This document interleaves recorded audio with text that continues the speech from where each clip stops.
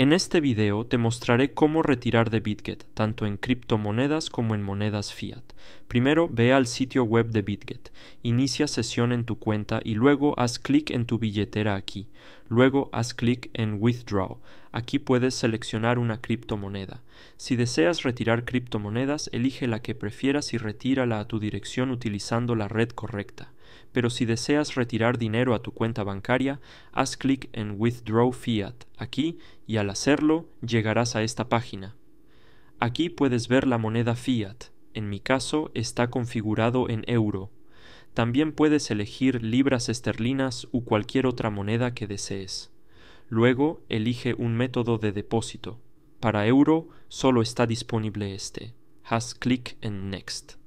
Aquí primero debes realizar la verificación de seguridad, es decir, vincular un número de teléfono y vincular una dirección de correo electrónico.